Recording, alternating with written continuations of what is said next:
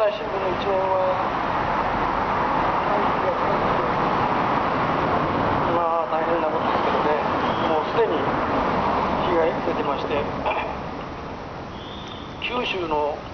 手前の時に新潟で大水が出るですね大変なもんです。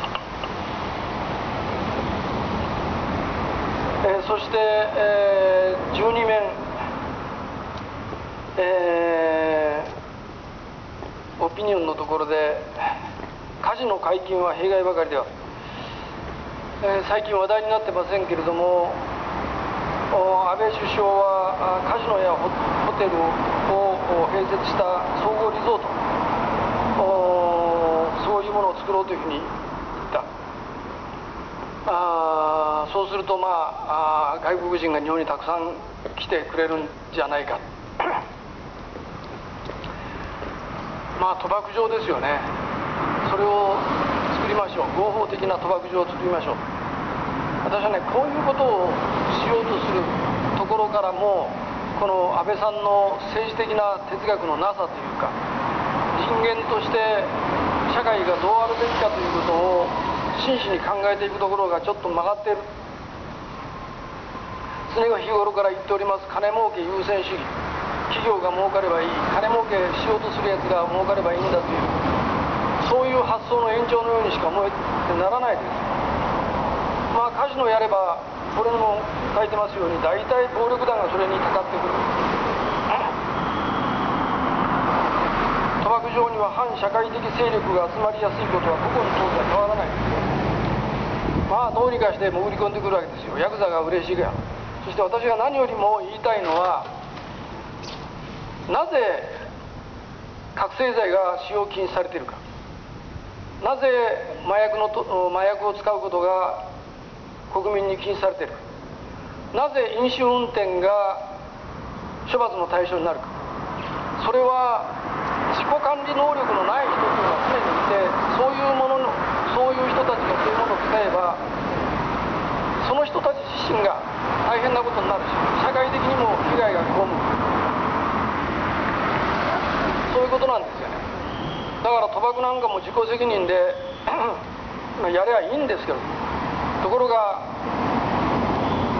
賭博中毒になって財産全部使い果たしてその挙句犯罪に走ったり一家全滅の無理心中が図られたりもう昔からそういうことはずっとそういう悲しい物語の続いてるんですよ。まあ現在でも競馬とかパチンコとか賭博がまあ部分的には許されてる部分がありますけどもそういう中でもやはり不幸な人たちがそれによって出てきて社交心を煽って、まあ、中には当たって儲かる人がいるけれども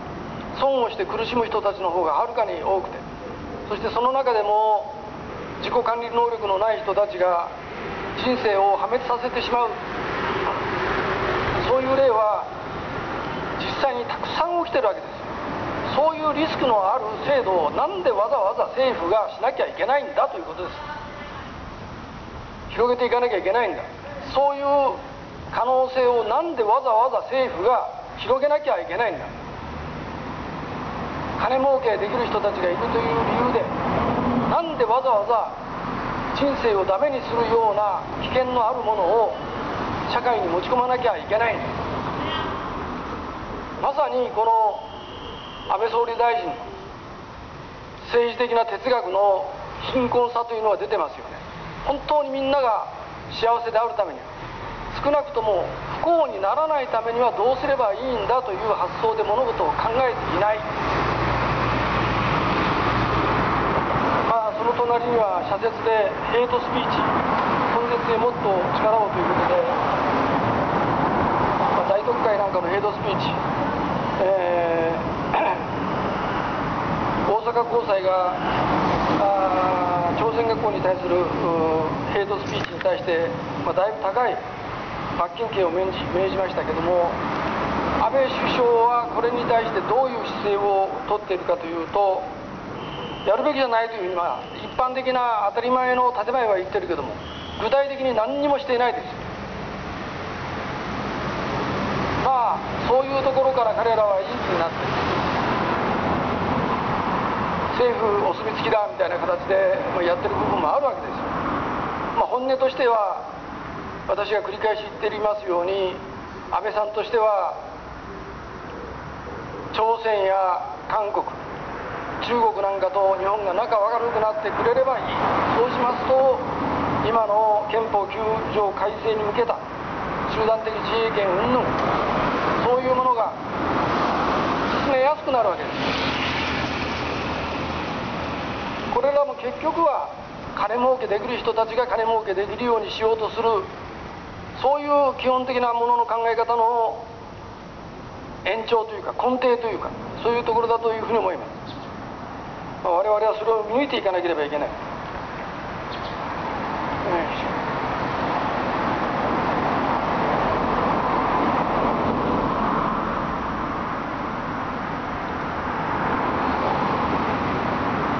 で今日の歌は「避暑地の恋」チェリッシュなんですね。でチェリッシュはよく知ってますが「テントウムシの3番」あこの歌は知らないですね。1973年軽井沢のことを歌ったかな。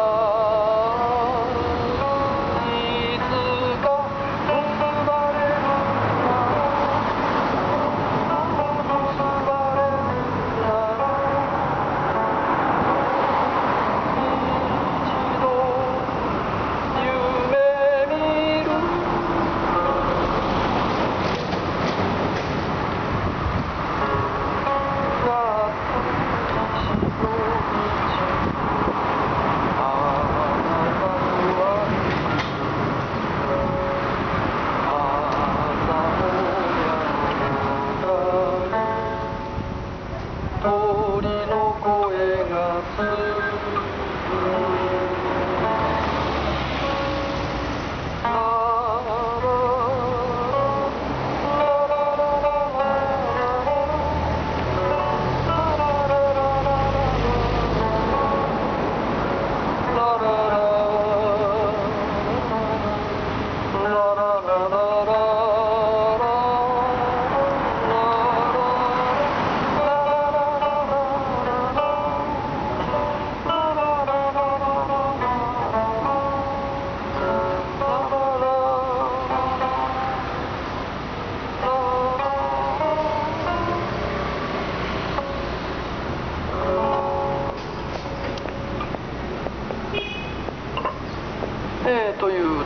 でしょう